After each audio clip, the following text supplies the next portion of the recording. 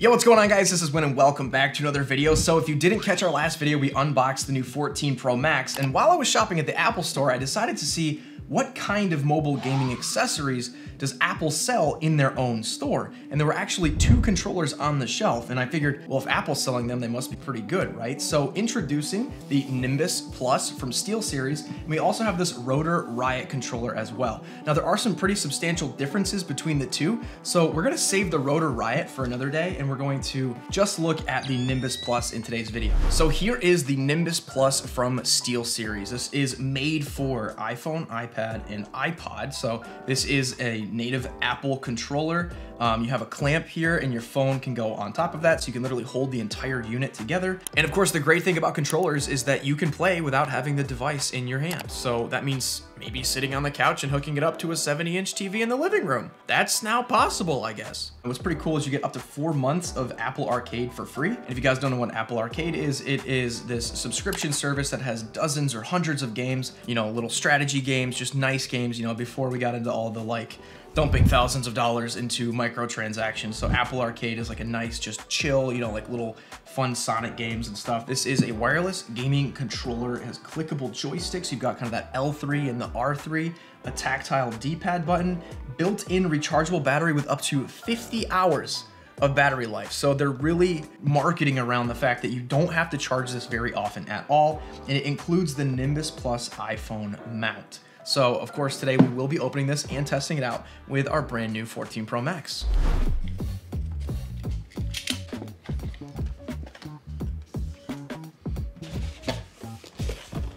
For glory. Ooh, that's actually pretty cool. There it is. Actually pretty nice packaging. Got the styrofoam in there, keeping it nice and secure.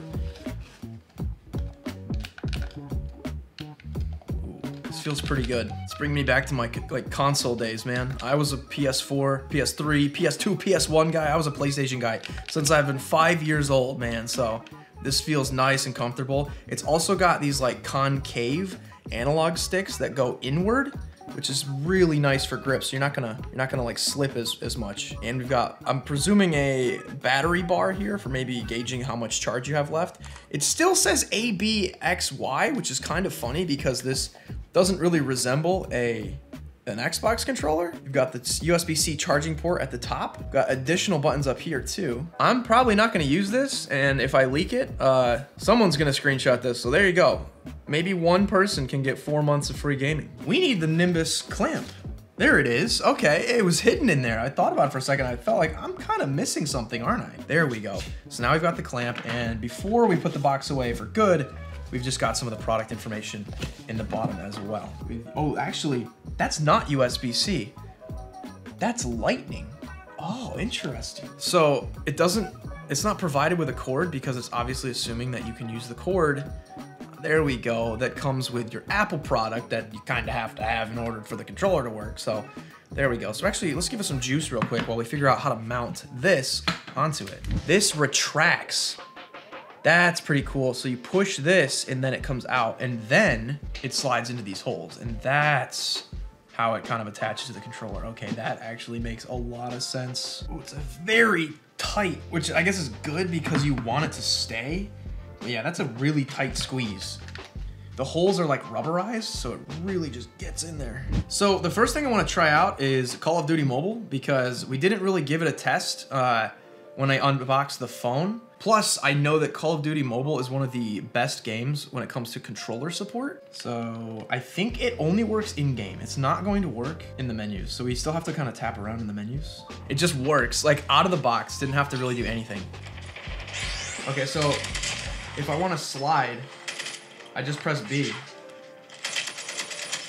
Whew. Yo, this is actually really sick. All the buttons are perfectly mapped to like exactly what you'd expect on a console. This is it's literally like playing a PS4 game. That's how it feels. I still have gyro? Oh, no way. Wait a minute. Wait a minute. That's filthy. That's filthy. Controller plus gyro is filthy. Oh yeah, wait, wait, wait, hold on. We're not missing now. We are not missing now.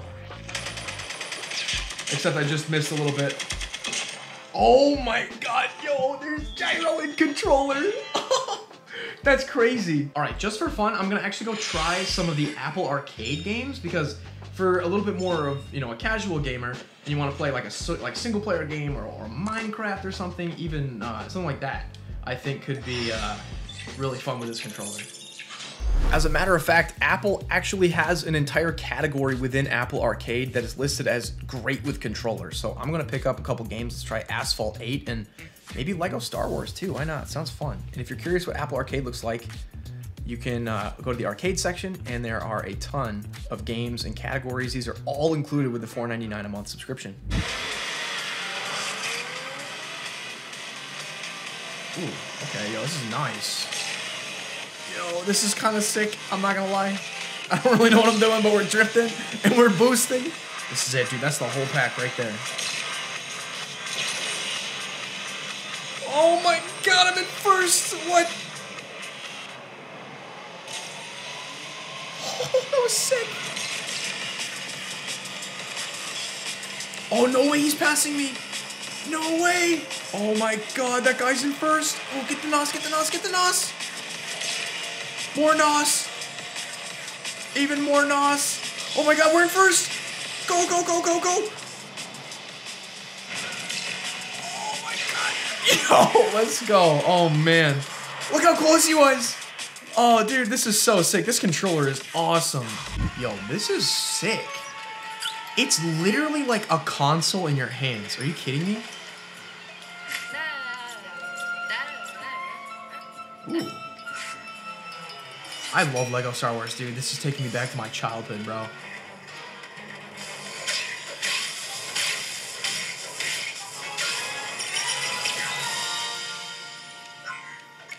Cool.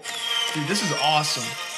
Well, I certainly have to say this Nimbus Plus is really awesome, and I wasn't expecting this to be as much fun as it was. The total time it took me to go from opening the box to playing in the game was like a couple of minutes tops. Pairing this with the phone, super easy, and it actually had enough battery out of the box that like, I didn't even have to worry about charging it. Like I was able to just play. So super user friendly, easy setup. All the games felt great, especially Call of Duty Mobile. I wasn't expecting to be able to play with controller mapping buttons with gyroscope. I feel like if you actually master that, it could be a pretty deadly combination. So anyway, guys, if you're interested in this controller, I will drop the link below in the description. We'll also be unboxing this Riot Rotor, Rotor Riot controller, which is wired also a little bit more like an Xbox controller, and we'll be maybe doing a little bit of a comparison, but this was the other controller they sold at the Apple Store as well. So this one definitely passed the test with flying colors, and we'll be testing this one out in the next video. So anyway, guys, thank you so much for watching, and we will see you guys next time.